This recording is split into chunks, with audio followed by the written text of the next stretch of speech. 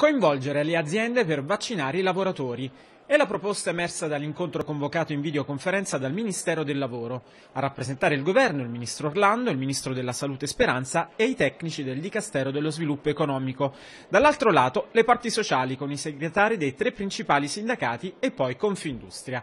Tra i presenti anche il generale Francesco Paolo Figliuolo, commissario per l'emergenza Covid. La proposta del governo è chiedere dunque l'aiuto dei medici aziendali per somministrare il vaccino innanzitutto alle categorie di lavoratori più esposti al contagio viaggio. Orlando ha citato per esempio la grande distribuzione dei servizi essenziali.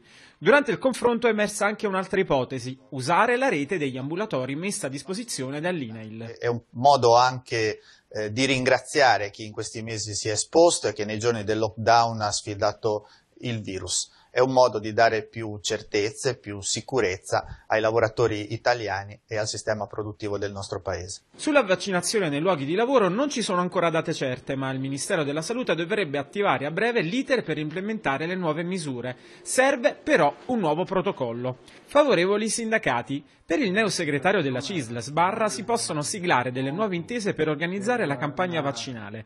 Per Landini della CGL serve un coordinamento a livello nazionale e non regionale per la somministrazione dei vaccini nelle imprese. Per Bombardieri della Will bisogna quanto prima firmare un nuovo protocollo che tenga in considerazione i lavoratori fragili e le esigenze delle piccole aziende. E per Confindustria, con circa 5 milioni e mezzo di dipendenti delle imprese associate, è possibile raggiungere un bacino di 12 milioni di persone considerando anche i nuclei familiari.